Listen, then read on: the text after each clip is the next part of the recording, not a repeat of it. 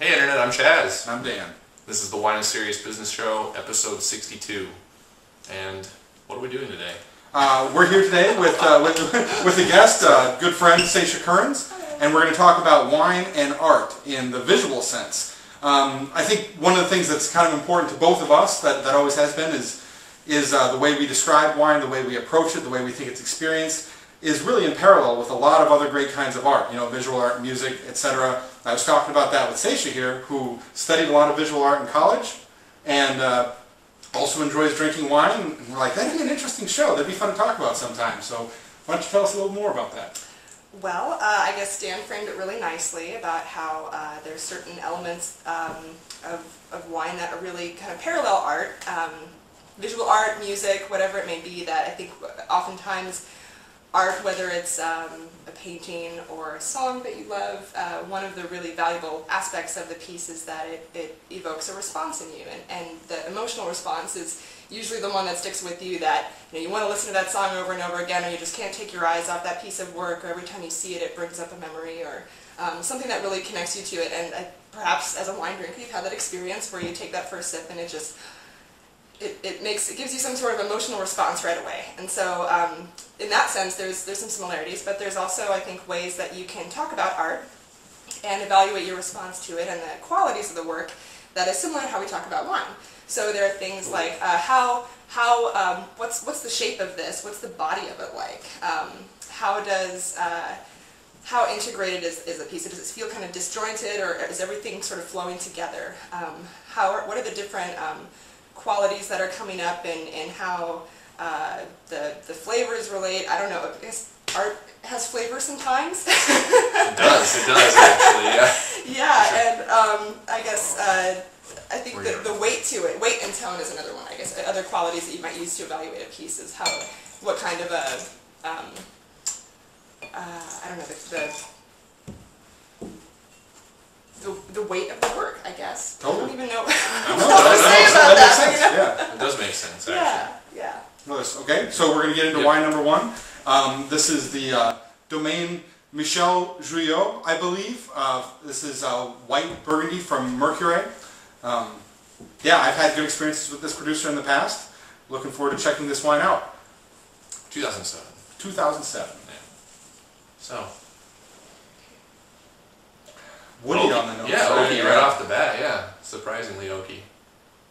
Kind of like a little peaches and cream thing going on. And bananas. A little bit of banana action going on there. Oh yeah, that even more so. More Yeah. bananas than the cream. I, Yeah. I warm up to these more slowly. And does you can make those responses really That's quick. cool. Oh, I think about it a little bit more.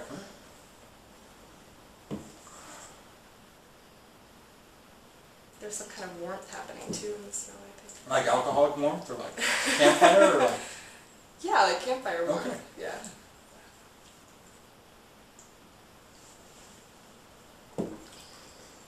Yeah, the oak plays full on the palate, um, but it's it's balanced pretty well. Wow, and the banana really shows through too. There's like this rich fruit flavor, but it's not like this rich sweet fruit that you get out of like Sauterne or a lot of the Right. like residual sugar style white wines. Yeah, the banana does play pretty heavily in the mid palate. The oak is there throughout the entire experience. The acidity is actually pretty nice on this too. Um, not super strong, but enough, right? But I feel Nice like one. it, it ends kind of bitter. It seems like a good seasonal wine. Makes me think of autumn, like a fall. I kind of see that the acidity dries things out, Mhm. kind of tart, and then definitely the yeah, it does tarten up in the finish. Yeah, for sure. It turns a little bitter, but not bad. and the oak sticking around. But uh, well, I guess we should probably score before we get onto the visual too. 87 for me. Nice wine. I enjoy the texture. Yeah, the texture is full. I like Mhm. that. I like. I didn't But but it- really talk but- about that. Yeah. Yeah, but the oak and the fruit isn't terribly well integrated, and Mhm. uh, I, you know, I enjoy the flavors, but not a lot of excitement. this is a fuller bodied white wine for sure. Mm-hmm. 86 points for me. I just it's it's got a really odd way of coming about what it does, like the flavors and the, the oak. But that said, it's full and it's actually kind of nice tasting, and Yeah, it's hard to fault it, right? Like a, I think year and bottle will do it some good too. yeah, yeah, it could come together, but yeah. All right. Well, so what sort of art does this remind you of? So, um, I think that there are some of the things you were saying uh, resonate with a few of the works that went to mind right away for me. But I had, as I was thinking about some of the um, emotional response to this, I guess there are some. There's a sense of trepidation that came up, um, a little bit of um, anxiety that I think, like with the texture you're talking about, there's kind of this. There's some sort of boldness that's happening Mhm. in it, um, and so uh, this is maybe a really uh, unfair comparison, but um, but you know one of the one of the things that I thought about when we were talking about doing this show was how we have a certain uh, we start with a certain repertoire. So there's and I think it's the same thing when you're learning about um, art or you're learning about music, um, and when you're learning about wine, that you have a certain frame of reference.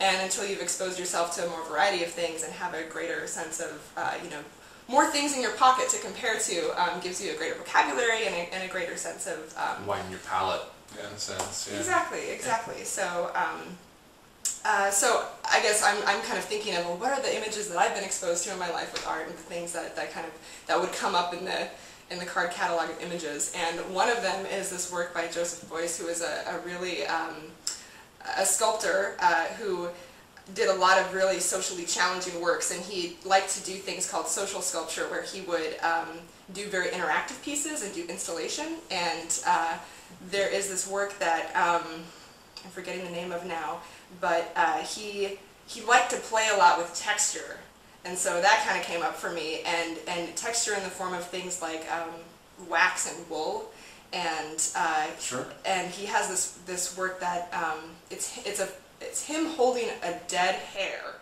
and he's got some kind of crazy makeup going on, and he was sort of a performance artist too, Mhm. right? The picture of Um, this online, right? I can find one. yes, Wicked great. yes. So you'll all be seeing that. Yeah. Yeah, so it's kind of a, it's, it's a little bit startling, and so that, I think there's some of that boldness coming up in here, that, and also this, it kind of ends in a really, um, I know, there's a lot of, there's some complicated things happening, but it's also really straightforward. Oh, here's this really striking image of this person holding a dead rabbit. and I could give some more background on it that I'm not, it's not immediately coming to mind now, but Fair enough. So, so I guess in, in, in like the short-term evaluation too, like, do you like this? Is this something you'd seek out to try again, or recommend to friends, or is this something you'd steer clear of? And again, like art and, and wine, there's personal preference, and Mhm. there are works that um, you know you might be in a museum and somebody's going to look at uh, a, a color field painting and say, you know, my, my daughter could have done that, my three year old could have done that. That's that's not art, that's not impressive, and someone else is going to go there and look at it and have a very moving spiritual experience. So uh, so again, it's not something I'm I'm not particularly moved by this one, Sure. All right. but uh, we'll see what happens next. All right. On to one number two.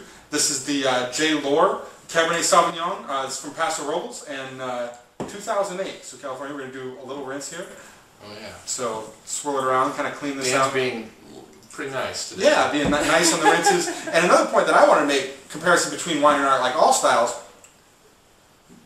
one of the uh, one of, one of the like growth paths or things that you come to appreciate more is the technical aspect of it, right? As you talk to winemakers, learn how it's made, how the fruit was in the year that it was harvested, is a lot like uh, Be more.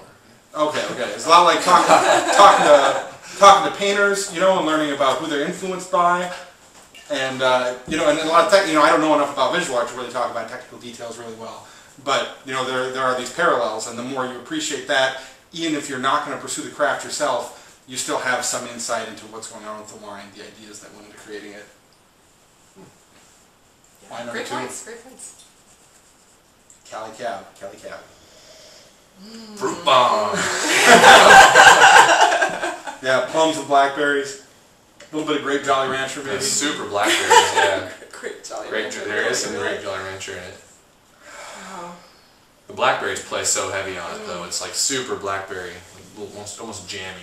Yeah, just a little bit of stems, not a lot. I think a lot of Cabernets I'll find some more in, but there's just a little, little green note kind of mixed in with everything. Sort of the sort of blackberry jam you put over pancakes. Like this is pretty damn jammy to me. At least. Rich. It's very Yeah. rich. Yeah, yeah. What do you think? Um, I, again, the repertoire. I'm not so good at, at responding to the to the smell of things, but um, Just what do you smell? but it's great. It's it's um. There is a lot of richness. I like I, I the, the I respond to the jammy because of how um, it kind of it makes me think of like a meatiness. Like it's really Nice. Oh, totally. really Cabernet. meaty happening there. Yeah. yeah, yeah. Interesting thought for you. So both these wines are showing significant oak too. Do you smell Mm. a similarity between the nose at all, despite being totally different grapes? I wouldn't say this on camera. All right. We have, So I moved on. I moved have- on. yeah, It's just like art. Sometimes you're caught up in the moment. You see something that's amazing. It happens with Exactly. wines. Well, why don't you run with Nothing that? else exists right now. is that- yeah, what are you experiencing? Um, well, this is uh, this is exactly what I love about a good red wine is that it, it has this uh, uh, this warming effect that is really sensual and um, and sophisticated and uh, just kind of melts through my mouth. Um, there's sort of this caramel burst that happens at the end for me, um, and uh, it's very yeah very very rich and um, like I said very sensual. Nice. Yeah. Chaz? It is. It's got. It's got a really nice way of, of the, the oak, or I should say, the oak use here is really nice. Like the the big jammy fruit that's up front is paired well with the oak, and that plays really well through the finish and kind of adds the sort of vanilla caramel thing that you're tasting. It's, it's done well. There's no denying it. It's it's really good. I mean, but it's it's definitely stylistically, it's a big wine. It's massive. Um, that said, it's enjoyable. Mhm. 89 points. I, I like I like big wines, and, and this is Yeah. this is definitely in that I would agree with that in that uh, yeah. yeah. And I think it's pretty nice. Um, I'm getting some of the blackberries. They're lighter than I expected based on the nose. Um, and then I'm getting a big like bloom of like grapefruit across the mid palate, which is really interesting. There's a lot more acidity in this wine than I would have expected, you know, on purchase and you know and by smelling it. Um, and I really like the acidity, of course. You know that makes me pretty happy because it cleans things out, dries the mouth out, and after everything dries out, like the primary fruit kind of fades away, then you get some of that richness afterward, and that's where some of these like caramel flavors, a little bit of sweetness is coming through after the mouth dries out. So it's kind of an interesting evolution. Um, Yeah, nailed it. and, and you can definitely tell that the, you can definitely tell that it's not not like like super complex or super rich. Um, it's it, this is really affordable wine, and that kind of shows a bit. But the but the you know but the flavors are well put together. There's some interesting evolution. There's nothing really off-putting, right? Like Cabernet at this price, a lot of times you get really destructive tannins or problematic alcohol that just you know just burns your mouth up. None of that's going on. Um, that said, I'm not as partial to the Cabernet in general, so I'm going to go with uh, I'm going to go with 87 plus on this. You know, digging it. Not a ton of excitement, but definitely nice wine. Um, and you know, when we were, we were talking earlier, like like how it brings art together. Like this definitely feels like something with dark colors to me. I mean, that's you know a pretty primitive Yes, leap. yes. You know, for for someone that's not that individual art, and obviously the you know dark wine, dark colors, but it does kind of leave that feel to it. There is a there is a sense of depth to it, even if it's not necessarily profound, like like you have in more exciting ones. I think. Yeah, it's really um, there's it's very accessible, but there are some subtleties too. And um, I'm, I'm thinking of uh, a work by John Singers. I, I don't know if I'm going to get his name right. I don't know if they say Sargent. Sargent. I think he's, he's French. We Um, screw up all of our French pronunciations on the Oh, show. great. Don't worry about it. Fit right in. Great. Just tear it up. We're Americans. Silly Americans.